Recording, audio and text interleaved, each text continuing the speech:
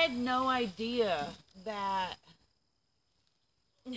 Listen, everybody, this is Terry Gully Girl Lane, and I have two fabulous guests from the Fitzpatrick Hotel. They're from Asheville, North Carolina, and I'm taking them on a tour of Gully Town, and they are fascinated. Look at my guest back there. He's back in the, he's all the way back there. Look at him.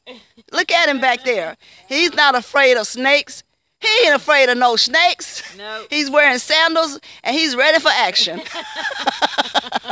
look, look at him.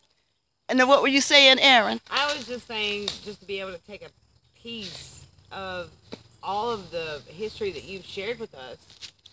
You- of your gully town, like of your neighborhood. Aaron has my permission, everybody, to take this piece of brick from one of the houses that was here in Gully Town. She's taking that brick back to Asheville, North Carolina, and she's going to get a thousand dollars for it. I'm gonna put it in my flower Never garden. gonna oh no, she's I'm gonna. putting it in my flower garden. It's going in her flower garden. Honey, I would never sell this. You guys, I am absolutely, I am just happy right now. See, that's Josh. Josh. Oh, Hi. yay! That's Josh.